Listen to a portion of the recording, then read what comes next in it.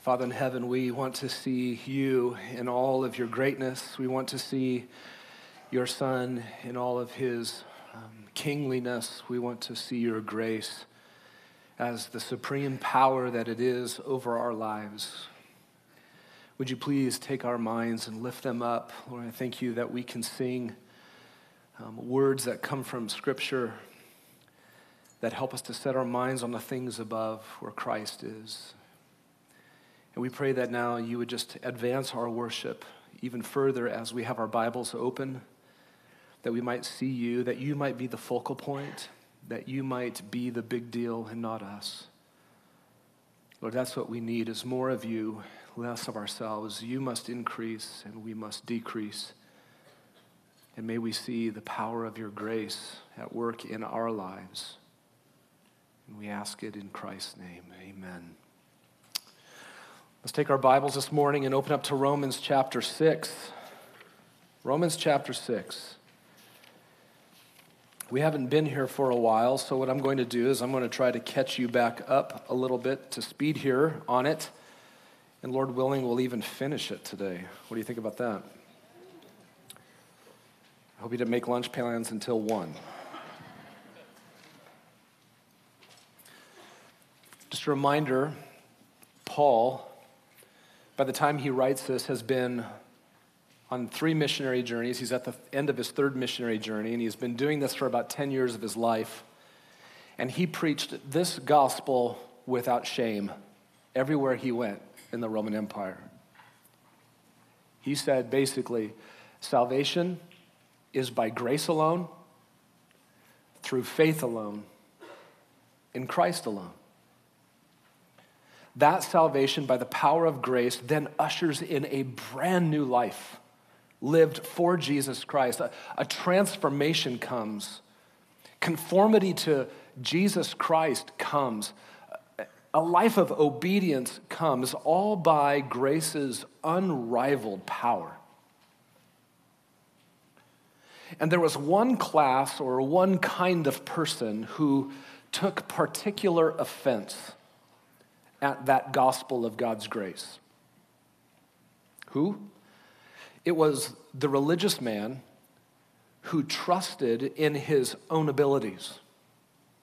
It's the religious man who believed that all he needed to be accepted by God was the power of a good set of rules, a good set of laws. He is the self confident, law loving religious man. To him, law's power is impressive because law punches every sin squarely in the nose with a thou shalt not every single time from his perspective. To the self confident man, that feels effective against sin. When that self confident, law loving religious person hears Paul's gospel, even today, that, that gospel by grace alone, through faith alone, in Christ alone, um, it isn't Christ that's the sticking point. And it wasn't and it isn't faith that's the sticking point. It was grace. Grace is the sticking point. The self confident, law loving, religious man was skeptical of grace, critical of grace. Because grace in the gospel does not allow the self confident man to present good works to God that come from his powerful set of laws. You see, the self confident, law loving religious man is fine with believing as long as he can also present some works from his law. And the self confident, law loving religious man, he's fine with Jesus as long as he can also what? Present some good works along that come from his powerful set of laws. But grace is the problem. Grace is the problem. Because grace denies the self confident, law loving religious man what he wants and clings to most, which is his own abilities and his own set of laws. And Paul had to fight against the slanderings from that kind of man against grace everywhere he went across the Roman Empire. And Romans 6 has one great theme. grace. Grace as a power that reigns supremely to save sinners and then to sanctify the believer. But Romans 6 is divided into two sections, and they are the gospel's defense of grace against two slanderous charges that were most prevalent. The charges against grace, they come from that self confident, law loving religious man. The first defense of grace by the gospel is in the first 14 verses of chapter 6. According to the self confident, law loving religious man, since grace is not interested at all in good works that you can do, since grace is not interested at all in the suppression of your sins with law first, therefore grace will leave you unchanged before sin. In fact, grace will even be permissive in regards to your sin. That's that man's thinking and slanderous charge. And the emphasis in the charge against grace in verses 1 and 2 is on continuing in sin, verse 1, still living in it, verse 2. If we say that guy lives in the gym, what do we mean? We don't mean that he's there once in a while, but it's his life. That's the emphasis in chapter 6, verses 1 to 14 is the charge is grace will do nothing to bring any change in the believer's life in regards to sin. And so, gospel defense number one in the first 14 verses, you can see it up there on the screen. Grace in no way is in partnership with sin in the believer's life. A fundamental radical change in relationship to sin has been achieved for the believer in Jesus Christ by the power of grace. Paul spends 14 verses on this, developing it. Sin is still sin. But the believer is a new person in the presence of those same old sins. The second defense of grace by the gospel is in verses 15 to 23 in this chapter. And the emphasis in this section is on fighting against sin here and sin there. Verse 15, what shall we say? Because we are not under law. Uh, I'm sorry, what shall we? Let me start over again. My tongue is ahead of my brain, and it's really bad, isn't it? What then? Shall we sin because we are not under a law, but under grace? May it never be. The emphasis here is on fighting against sin here or sin there, where in the first part it was about continually living in sin. And the gospel's defense of grace in this section shows that grace as a power is the only power against sin for the believer. Law as a power is worthless against sin, anywhere, everywhere, all the time. In fact, if you are still under sin as a or under law as a power, you are still a slave of sin. But if you are under grace as a power, you are no longer a slave to sin, and you have the only power against sin that God has designed. Verse 14 For sin shall not be master over you, believer, because you are not under law, but you are under grace. What then? Shall we sin because we're not under law, but under grace? Of course not. And that brings us to the second defense of grace by the gospel Grace in no way is rivaled by law in the fight against sin in the believer's life. And this is where we have been. So why don't we review the first six and then we'll pick up the remaining ones. Therefore, if this is the case, that grace is not rivaled by law as a power in the fight against sin, well, then grace's unrivaled power against sin in the believer, number one, contrasts and clarifies the only two slave categories possible. Verse 16 you are either a slave of sin or you are a slave of obedience to God. Secondly, grace's unrivaled power against sin in the believer creates thankfulness to God for my new slavery, verse 17. But thanks be to God. Listen, the self confident, law loving religious man does not have God as his focal point in thankfulness because his eyes are on himself and his law. Thirdly, Grace's unrivaled power against sin in the believer delivered me over to a teaching pattern with heart generated obedience. Verse 17, that language there, um, that form of teaching to which you were committed, that's, that's like slave language. That's the handing over and authoritative, dominating handing over of yourself to the teaching that you were given over to. It's a way of saying that the teaching of the Word of God is your master, and you have heart generated obedience under it now. Fourthly, grace's unrivaled power against sin in the believer abruptly displaced my old slavery with my new slavery. Verse 17, though you were slaves of sin, boom, you became obedient from the heart. Verse 18, having been freed from sin, boom, you became slaves of righteousness.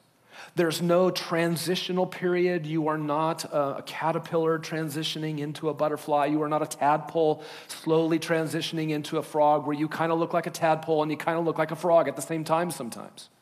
That is not the language of what grace does. It is an abrupt displacement, it is a, an abrupt salvation event, conversion. One slavery to the old, uh, to the new. Fifthly, grace's unrivaled power against sin in the believer speaks clearly to me to make my new slavery understandable. Verse 19, I'm speaking in human terms because of the weakness of your flesh, Paul says. I have human fleshly weakness that just makes this an uphill climb for me to get. And Paul's trying to put the grace cookies on the bottom shelf for us. Sixthly, grace's unrivaled power against sin in the believer commands me, full stop, commands me. Verse 19, there's a command. So now present your members as slaves to righteousness. All this talk about not wanting to be under the power of the law does not mean you will be without commands. Grace commands. You have no fear in hearing this language from Romans 6 about you don't want to be under the power of law.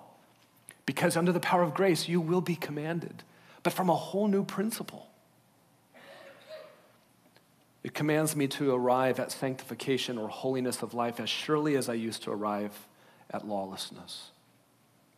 Now let's start with new ones this morning in verse 20. Number seven. Grace's unrivaled power against sin in the believer, number seven, reminds me that righteousness used to have no dominion over me. This is terrifying. Verse 20. For when you were slaves of sin, you were free in regard to righteousness. This is an explanation that's going on here. It starts with the word for. There's been quite an extensive ongoing contrast since verse 16 between these two slaveries. You're either a slave of sin or a slave of obedience to God, verse 16. In verse 17, you're either a slave of sin or you're a slave that has been handed over to the teaching of the Word of God. In verse 18, you're either a slave of sin or you're a slave of righteousness. And at that point in the contrast, Paul uh, takes righteousness and it gets personified like it has dominion as a Lord, it has power as a master to rule, it has an authority over a slave who is the believer. And in verse 19, your members are slaves to impurity or they are slaves to righteousness. And now in verse 20, Paul wants to explain and expand on that personification of righteousness as a slave master. The main idea in verse 20 is in the middle you were free. Paul means there was a freedom that you once had. And you say, well, wait a minute, how? When?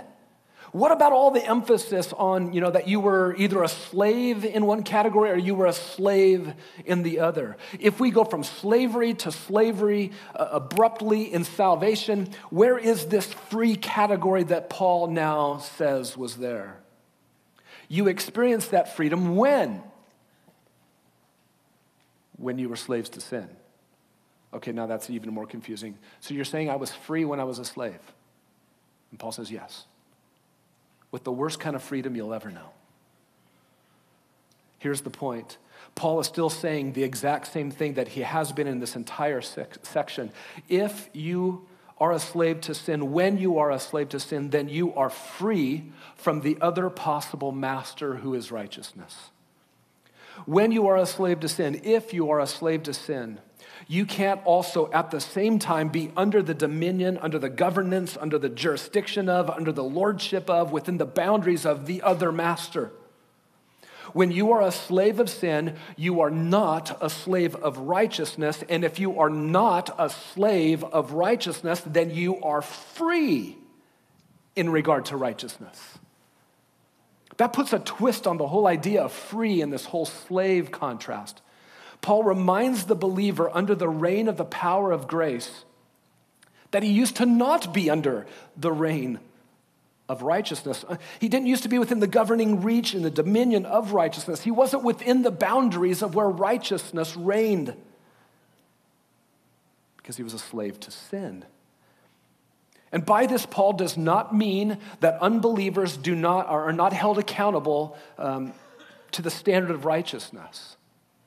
What he's saying is that the unbeliever just lies outside the reach of the reign of righteousness, the governance of righteousness. And we need to think bigger thoughts about why unbelievers don't do righteous things. And this is helpful for us.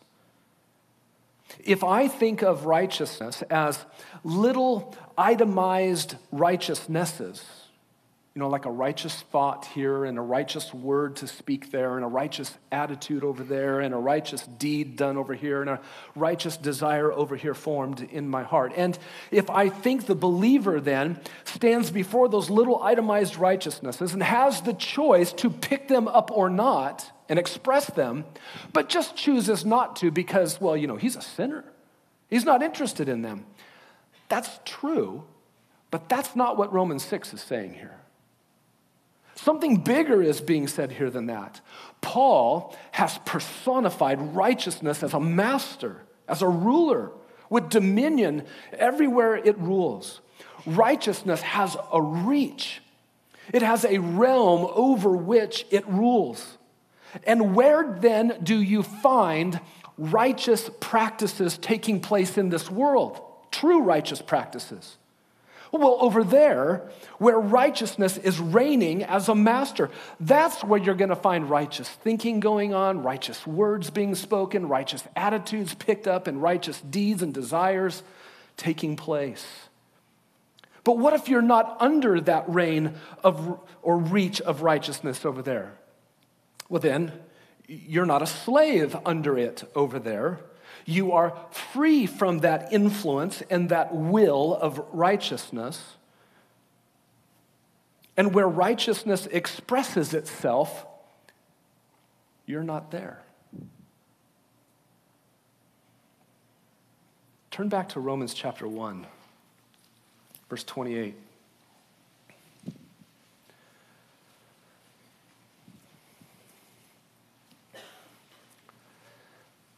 And just as they, the human race, did not see fit to acknowledge God any longer, what did God do?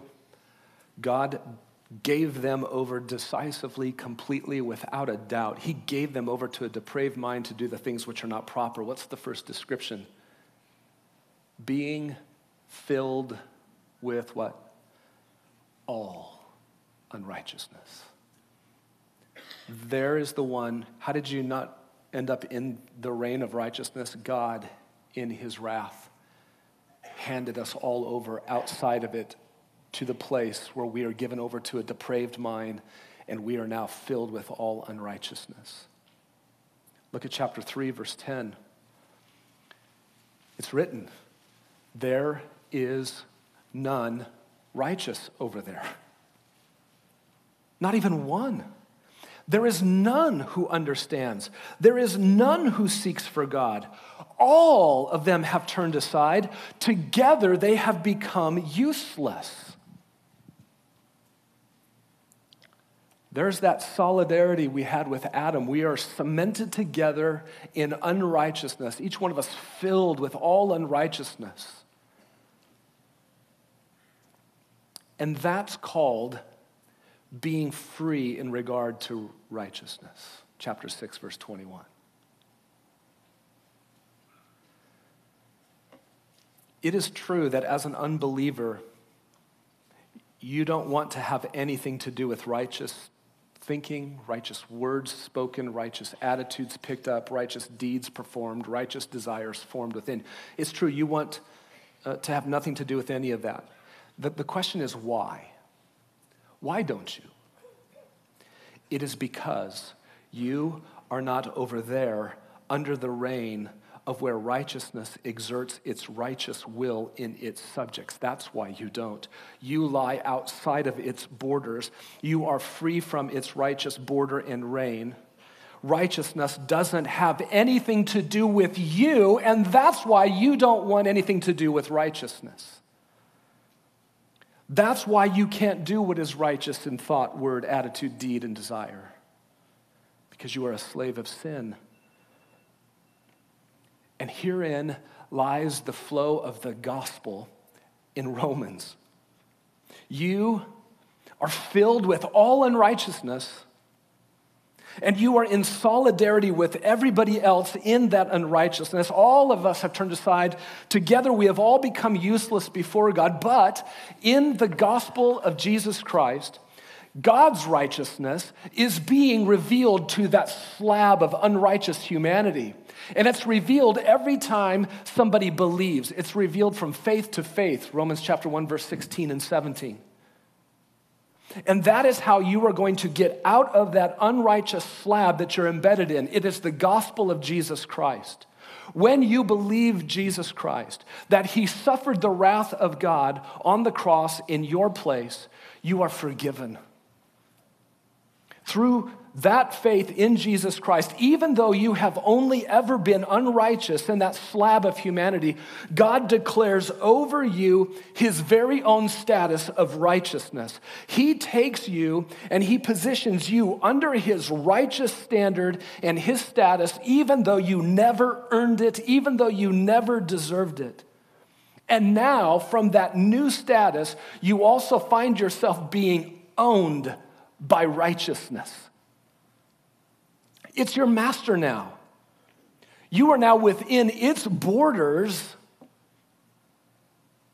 And so righteous thinking is possible. Righteous words are available to you. Righteous attitudes and deeds and desires can be picked up by you. It wasn't merely that you had no regard for righteousness as a sinner, but God put you in a new category.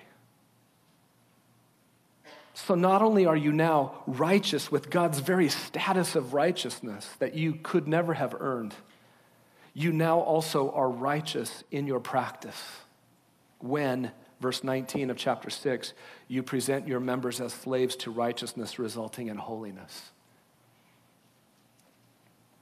But when you were slaves of sin, you were, you were free in regard to that reign of practical righteousness.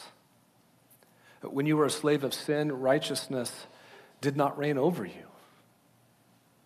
It had no dominion over you, it had no influence over you, it had no regard for you. And that explains why you were unrighteous in your thoughts, in your words, in your attitudes, in your deeds, and in your desires. That's why you were filled with all unrighteousness, because God gave you over to a depraved mind someplace else away from righteousness. It wasn't merely that you had no regard for righteousness as a sinner, but righteousness at that time had no regard for you either. It did not exercise its righteous rule over you in your thinking, in your words, and so forth, because you were a slave of sin. And why is the gospel making this point in Romans 6? Why? Again, the power of law is not what you want to turn to in your fight against sin here or there in your life. You never left the slave of sin category by using law as a power. And you didn't put yourself within the boundaries, within the jurisdiction of righteousness through law as a power. All law does in its power is intensify your sin into transgression. Romans chapter 5 verse 20. Law came in so that it would so that the transgression would increase. Law as a power never produces righteousness. Law as a power never increases righteousness. And if law as a power can't bring about a change in your slave identity, all the more reason why you should never turn to it as a power to fight against any of your sin. Anytime. Grace as a power being under grace as a power is God's means for you to fight against your sin. And Paul is trying to present grace to us in such a category far above any other power, especially the power of law, such that you would have full confidence in the grace of God in your life as you live a life for Jesus Christ. Now, if, if you're an unbeliever, you might think you're free. You know, free to live how you want to live, free to choose whatever you want to choose. You're free to think what you want to think, say what you want to say, do what you want to do. You're free to desire all that you desire. That is a mythical freedom, according to Romans 6. But there is a real freedom you experience if you are an unbeliever, and it is this grim freedom that you are free in regard to righteousness. Meaning, all that God says is right in thought, word, attitude, disease, uh, deed, and desire, it has no regard for you. You are completely incapable of doing what is right. And the only difference between you in that condition and the believer in Jesus Christ is grace. The power of the reign of grace. The difference between the unbeliever and the believer is not that the believer has been more effective with a set of laws than you have been yet. Number eight, grace's unrivaled power against sin in the life of the believer exposes the fruitless life and fatal end my old slavery to sin secured for me. Verse 21.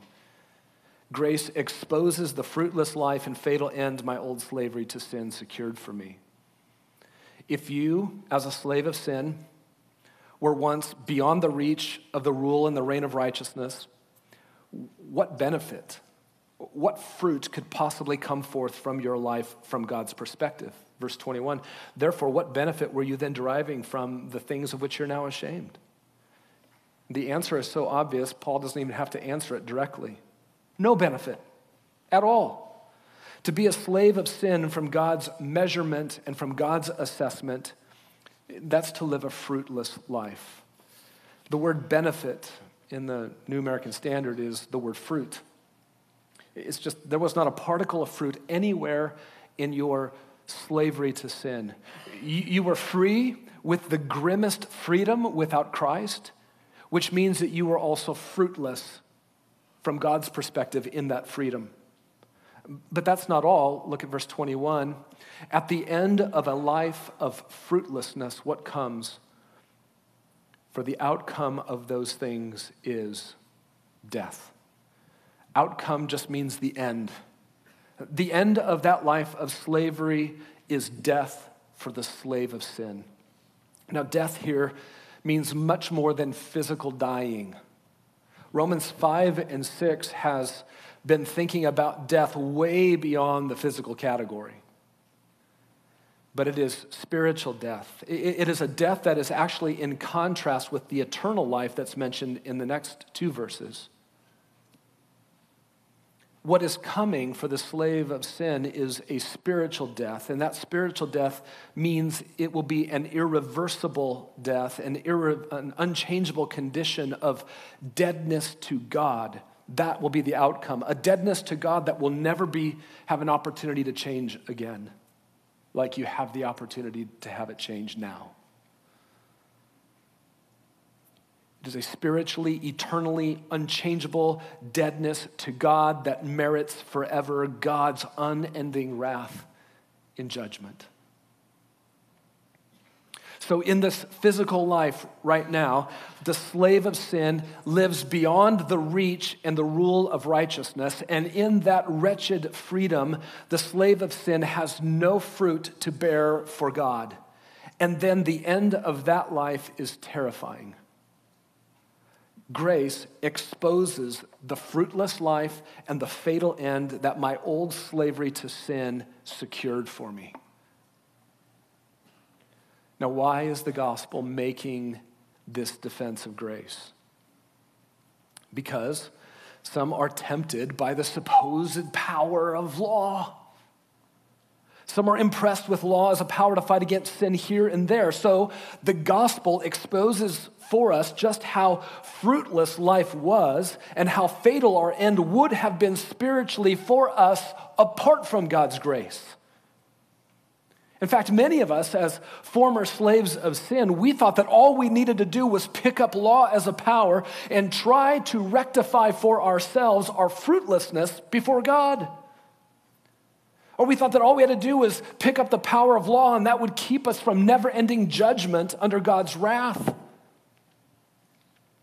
The defense of grace is making this point law as a power had no fertilizing effect on the toxic soil of your heart, such that you would start bearing fruit. And you will remain without fruit no matter what law you try to energize yourself with. And law as a power will only secure your spiritual death that is coming. Chapter 5, verse 20 law came in so that transgression would increase. Verse 21 sin reigned in death.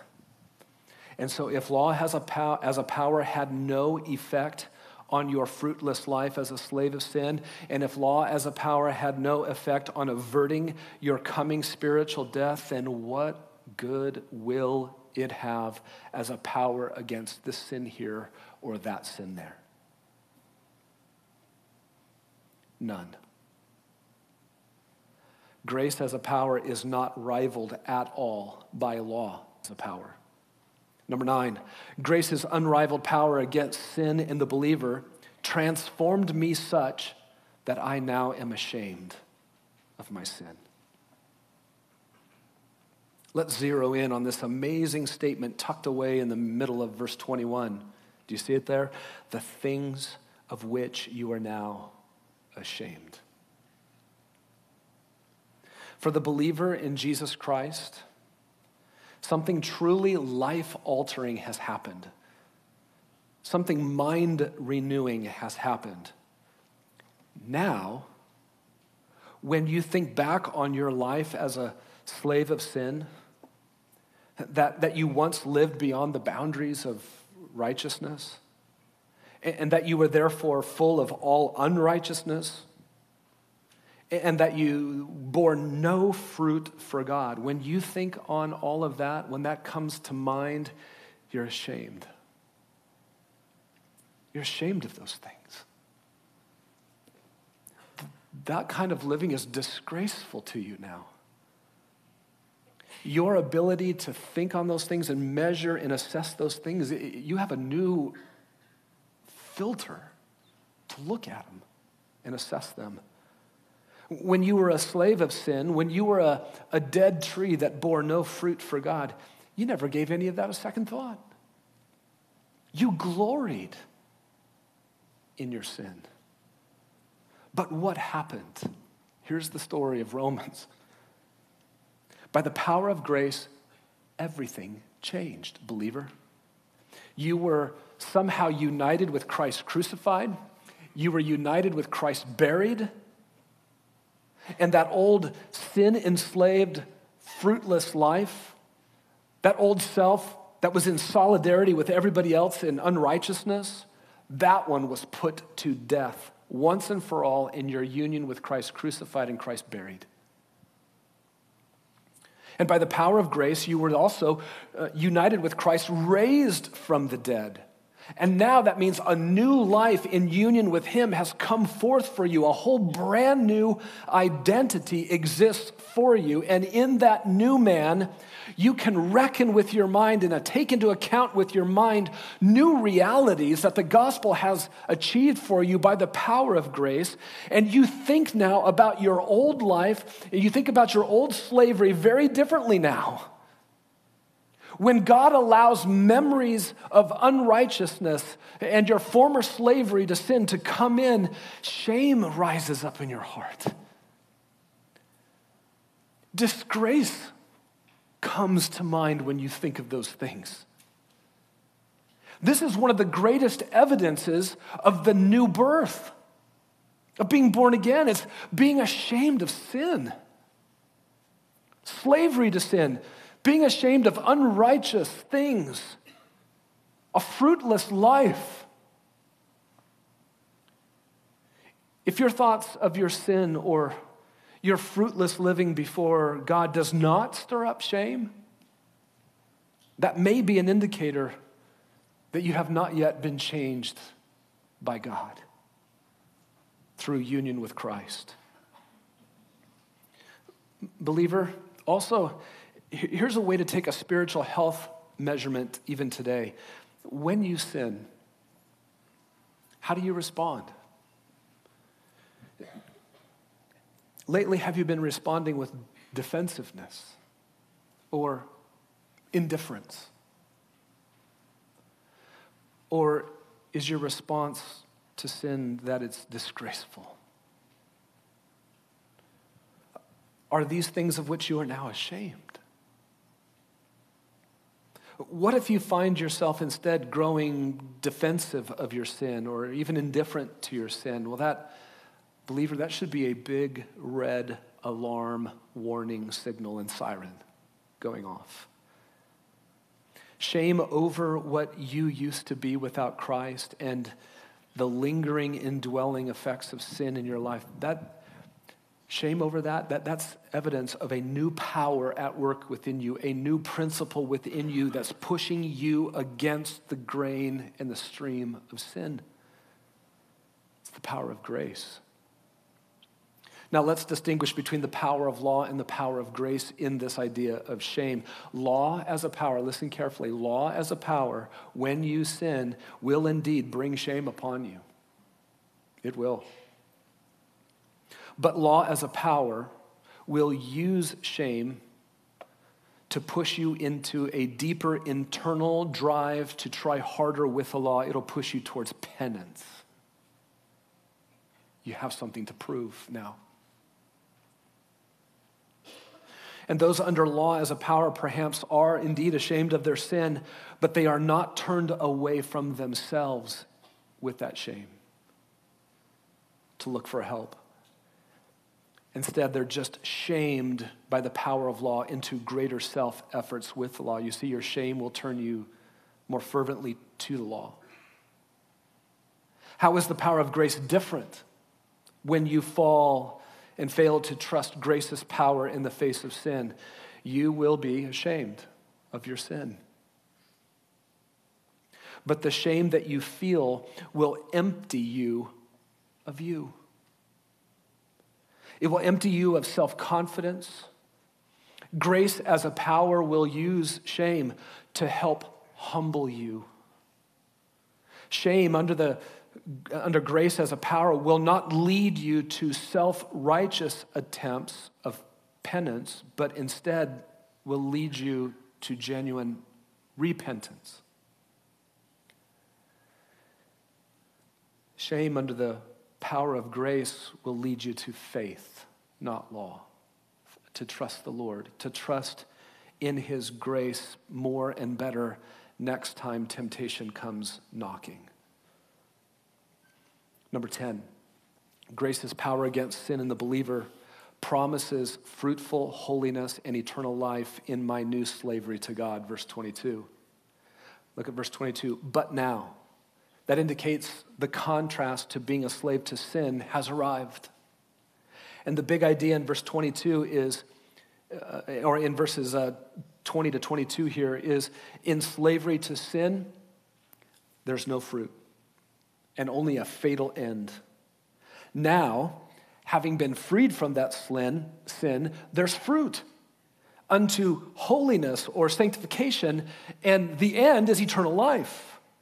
And the promise made here by grace to the believer, it couldn't be more the opposite than what slavery to sin brings about. So let's work through the details in verse 22. Here's the main statement in verse 22.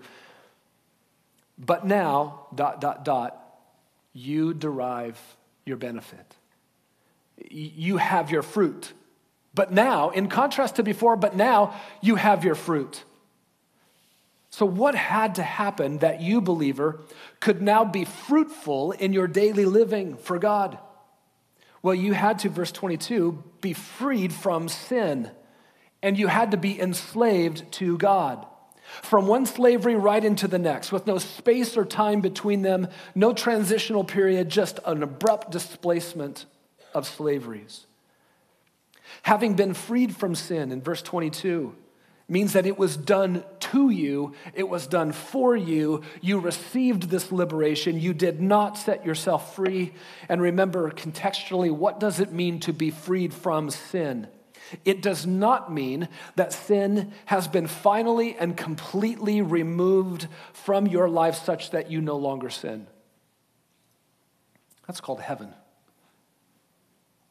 What it means is that you are no longer under the dominion of sin. You are no longer its helpless subject. You can now do something more than just helplessly obey sin. You can resist sin. You must resist sin. And enslaved to God, but now having been freed from sin and enslaved to God, that also means it was done to you. And from what I can tell in this passage, this is now the fourth description of the new slavery achieved by the grace and the, the power of grace. The first one was you are a slave of obedience in verse 16. The second one is the language of that form of teaching to which you were committed as slave language. It means you were handed over and delivered over into the possession of the teaching of Scripture such that it is now your master the Word of God. You are a slave to its teaching now by the power of grace. The third description is you are a slave of righteousness, verse 18. And now, verse 22, you are a slave of God. One slavery presupposes the other which makes it clear then as to how and why you are fruitful in your living as a believer. You, you're a slave of obedience now. Um, the teaching that you were delivered over to, it rules over you. Uh, righteousness, you are under its boundaries now. And God is your master. How could you not be fruitful for Him? This perfectly aligns with everything Jesus ever said about needing to bear fruit for Him and only being able to bear fruit in Him. And notice the believer's fruitfulness is expanded on in verse 22. What is the fruit? It is resulting in sanctification, or it is unto holiness. Fruitfulness is defined by holiness. Fruitfulness falls into the category of holiness. Holy thoughts, holy words spoken, holy attitudes and deeds and desires, that's fruitful living. Holy fruit, fruitful holiness. But that is not all that is promised us. Notice the outcome. And the outcome is what? Eternal life. That's God's very life. As the eternal God, He is indestructible in His life. He is unfading in life, unwavering, powerful, and pure in the life that He has, that He gives us. It's deposited in the believer at the new birth, at faith, but not yet fully experienced in its entirety until when? Until Jesus gets all of the glory that is due His name which means when he finally and forever puts away even death itself into the lake of fire. That day, that then will be the greatest and final, fullest expression of eternal life that any believer will ever know. Enjoyed now, anticipated then.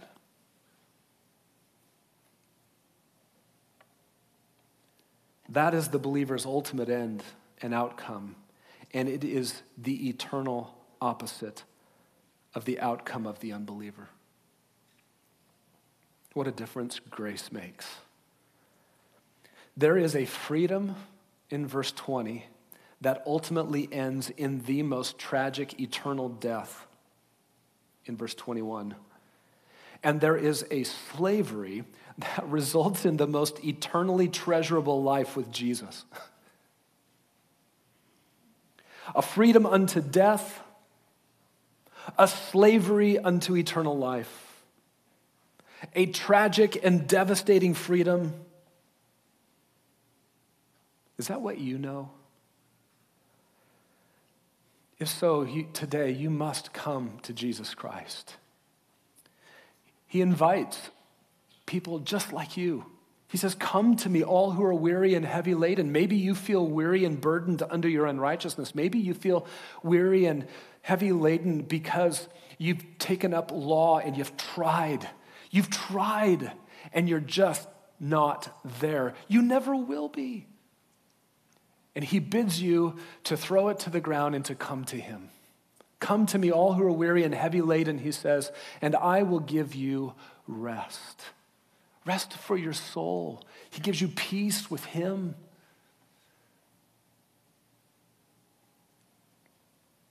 And he says, Take my yoke upon you and learn from me. He has every intention to rule you. And it is so good. It is a great peacefulness, it is a great rest for your soul to be under his yoke. You must come today. Become fruitful. Become holy in your practice because of his saving work begin the enjoyment of eternal life even now, which you ultimately will enjoy in its fullest expression one day with Him. And again, what is the point being made regarding law as a power? What's the point? Law as a power could never deliver such a promise like grace makes here. Law as a power will never get you to fruitfulness, it'll never get you to holiness, but it will only get you to greater transgressions. Neither will it ever get you to eternal life. So, why try to live under its power now in your own abilities to fight against sin here or there? And lastly, number 11. Grace's unrivaled power against sin in the believer climaxes the staggering contrast between sin and God and the outcomes of their slaveries. We reach the climax, verse 23. It's time to bring this contrast between the slavery of sin and slavery to God to an end, and its contrast with diametrically opposed outcomes as well. Each master has an outcome, and each master gets its outcome.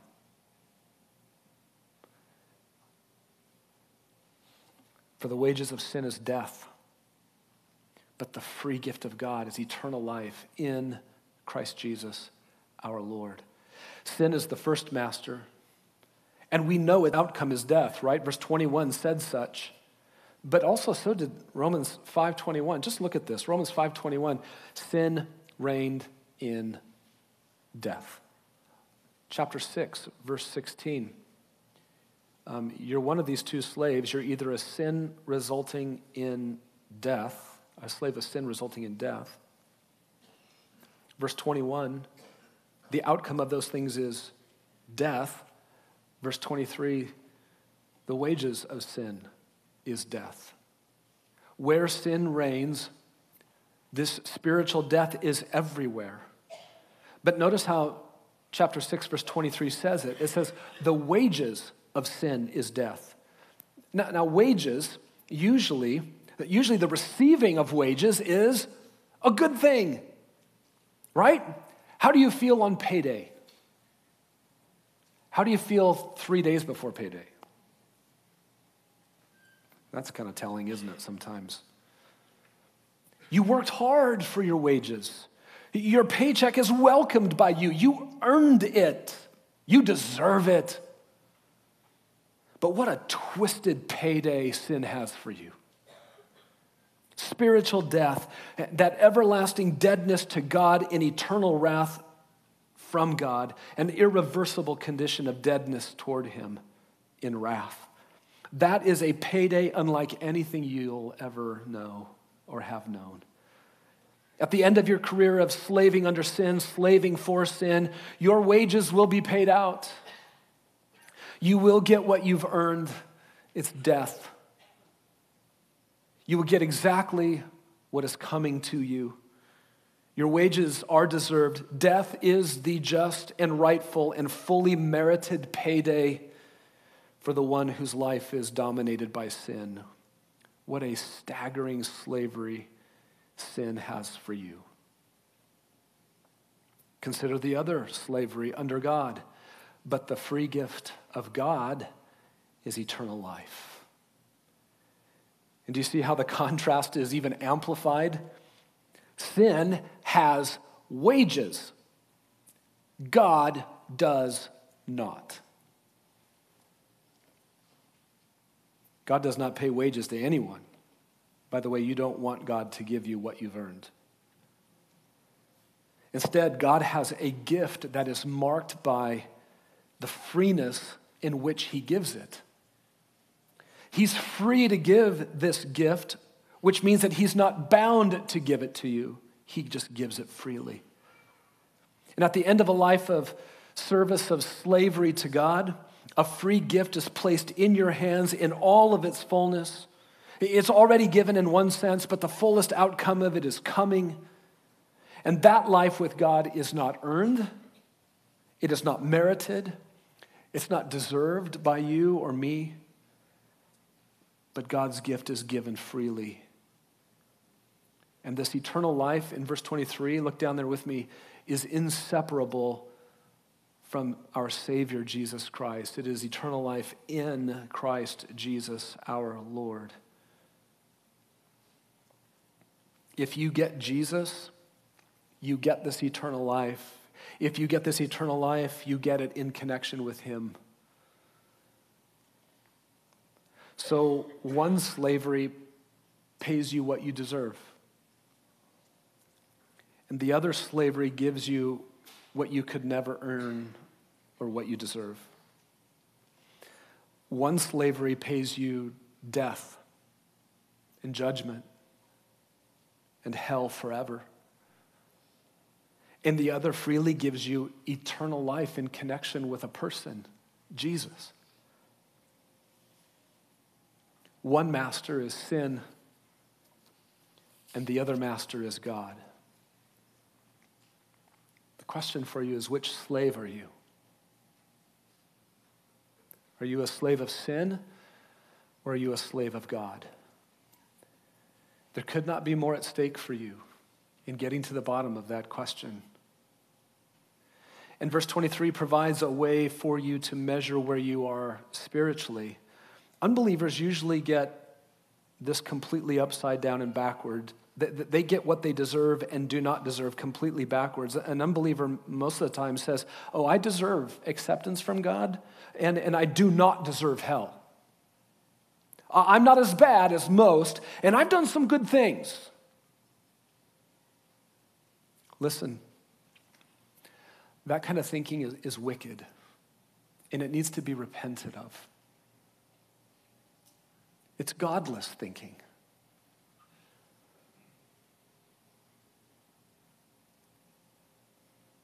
Do you think you deserve eternal life? Do you think you don't deserve hell and judgment? If you answer those with a yes, you need to repent and come to Jesus Christ today. The true believer is exactly the opposite. Here's what a true believer says and knows I do not deserve eternal life with Christ. And I do deserve hell. I am worse than you will ever know. And God's grace is greater than we all will ever know. That is the evidence of grace's transforming, powerful work within. That's evidence of slavery to God. Whose slave are you? Let's pray.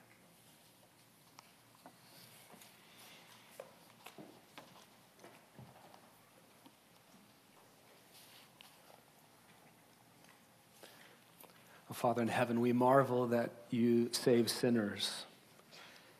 And what vivid, amazing, staggering, stunning, breathtaking details there are in this salvation that you have provided for us. Thank you for being a God with a free gift and not a God with wages to give. Thank you for sharing the very life that you have and are with us, giving it to us freely. Lord, I thank you that you, you don't give it to us separate from Jesus. But this life is in connection with him. Lord, forever you continue to just point us to your Son. You never let us think about eternal life without Him, apart from Him, as if somehow we get a life and with you or for us, and we're not really sure where He is. No, we only can think of this life in connection with Him. Your Son is everything to us. Because your life is bound up in Him, and that is the life you have for us. Thank you for your Son, Jesus. Thank you for the life, the eternal life you give that you've deposited even now, that you've inaugurated even now in our lives, but that, oh, one day there will be a fullness to it that comes that not even our beloved ones in heaven have tasted yet fully because death has not been yet put away everywhere. Oh, Lord, we want to see Jesus be glorified and get his due in every possible way. In the meantime, while we live yet another day in this body. Lord, I pray that you would make it clearer to some here, whoever here needs to repent and come to Christ. Lord, draw them even now. Save them. And for those of us whom you have already saved, Lord, may we be absolutely impressed with your grace and its power.